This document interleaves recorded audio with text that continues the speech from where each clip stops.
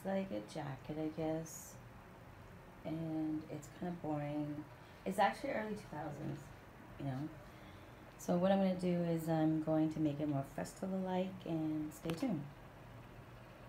Okay, so so far what I did was I opened up these side panels and apparently that's how it was before.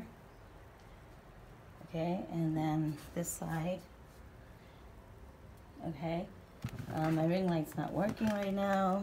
I don't know what happened to it. So this back panel, um, I think I'm gonna do is open up these ones too. So it'll be more festival-like. So that's the next step. Okay, so I did it. I just opened up all of them. Um, just hemming left.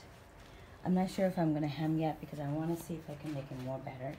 Maybe put some spirals, spiral frills in between these things.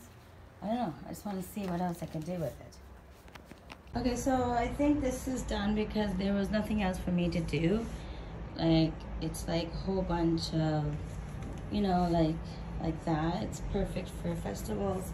You put it on top of a skirt, or this one's put over top of a a bodysuit because, you know, not sure exactly what else I can do with it, but you can belt it, you can, well, these has, you know, it looks like a dress. And then when you walk is when you see the, okay? So yeah, I think this one's done for now.